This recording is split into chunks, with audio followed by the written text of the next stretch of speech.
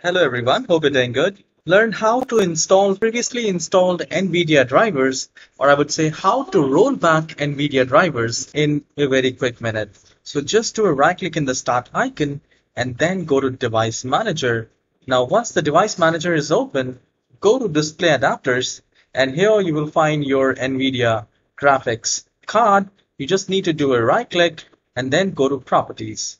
Now once you're here, you need to go to this driver tab and once you click on that you will find driver details update driver and there will be an option to roll back driver.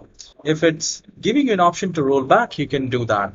Let's say if it's grayed out just like me then what you can do is you can click on update driver and then click on browse my computer for drivers and then select let me pick from the list available. And once you do that here you will find the previously installed the drivers. So since I'm using the Intel graphics so I see the Intel one but in your case if you're using NVIDIA graphics you will find previously installed old drivers here.